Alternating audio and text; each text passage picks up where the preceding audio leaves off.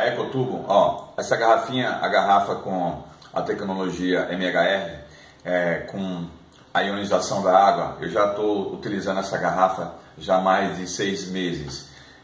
É, Para mim, melhorou minha, minha parte intestinal, a qualidade da água ela fica muito mais leve, ionizada, e consequentemente, você tendo todos esses fatores, você leva aqui o que? Que você tem uma vida mais saudável, é, com uma água mais leve, que o grande problema dessas águas que a gente toma é, de garrafão natural são águas ácidas e passando por esse processo você se torna uma água com água mais leve, quebrando, fazendo a parte de ionização da água. Então, consequentemente, isso traz uma qualidade de vida melhor, tanto para você como para sua pele, para seu intestino e outras coisas mais.